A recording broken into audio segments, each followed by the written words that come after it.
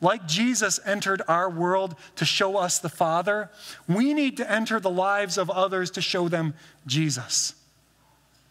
So the question is what are you going to do today? What are you going to do this week to represent Christ to this world, to this community, to your family?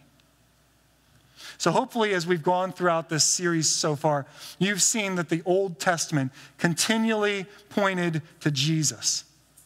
And today, I hope you're also seeing that our lives are continually to be pointing to Jesus as well.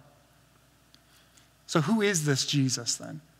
Who is this baby that was born in Bethlehem over 2,000 years ago that we so often celebrate at Christmas?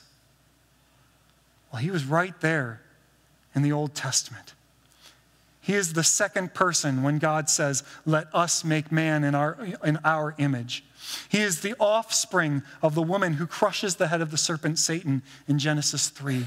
He is the one who shuts the door to Noah's ark. He is Melchizedek, to whom Abraham bowed and tithed to worship. He is the visitor who told Sarah that she was going to have a son. He is the wrestler who touched the hip of Jacob at Bethel. He is the dream interpreter of Joseph. He is the blood of the lamb of Moses' Passover. He is the captain of the Lord of hosts for Joshua. He is the shepherd of David. He is the mighty God, the everlasting Father, and the Prince of Peace of Isaiah.